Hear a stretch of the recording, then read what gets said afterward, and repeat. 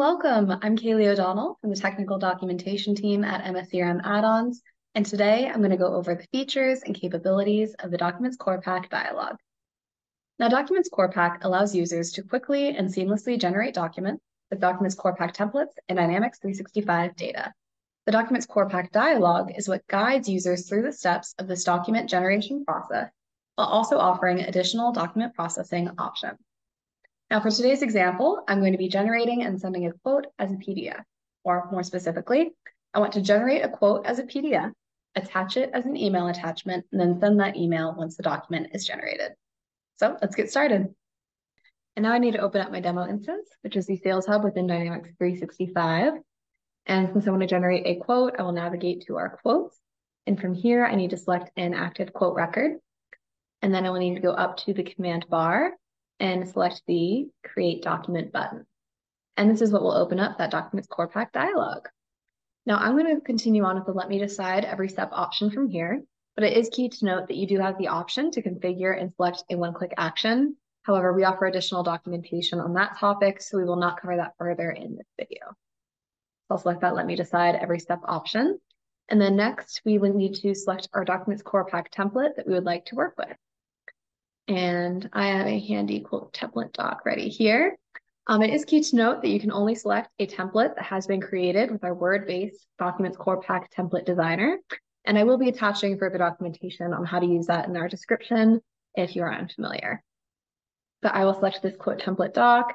And you do have the option to also edit your template if you would like to do so with this edit template button, but I'm happy with our template as is. So I'm going to continue on to our document options.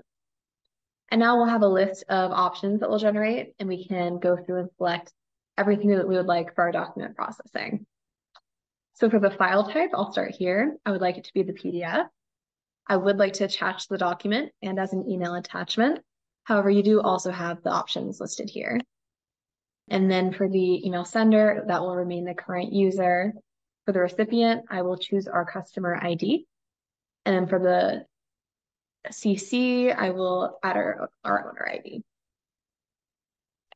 For the email template, I likely have a great template ready for us to use, which is our email quote template. And I would like to send the emails after generation.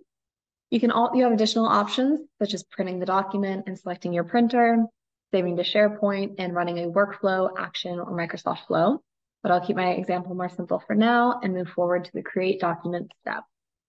Now this can always take a second, but what happens once it's finished generating is you, that you can choose to look at a preview of your document and you can also go ahead and edit directly to that document and make any changes you would like and then save those. So we'll give that just a second to finish loading and then we can begin there. Perfect. Okay, so this is where we will click on the link to view our document and let's take a look.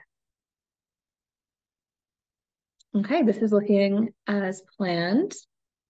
And I'm happy with that. Great. So I'll X out of there. And if there were any changes that I wanted to make, I would go to this edit option to edit with Word or Word Online. And everything looks right to me. So I'm going to move to the finish step. And again, that can always take a second as well, just to give it time to finish generating. Once that document is ready, it will be attached to the email with the desired recipients and sender as specified earlier, and then that will be sent out. Perfect. And here we can see where the quote has been attached. Um, we see the email that was sent below here. And then the actual attachment can be shown here on the right side. Can click that again and it should generate here and it is also available for download. And that concludes my brief overview and introduction of the Documents Core Pack dialog. Thank you all so much for watching. And if you have any questions, feel free to drop them in the comment section below. And make sure to subscribe to our channel also so that you don't miss out on any updates and latest explanations. Thank you, everyone.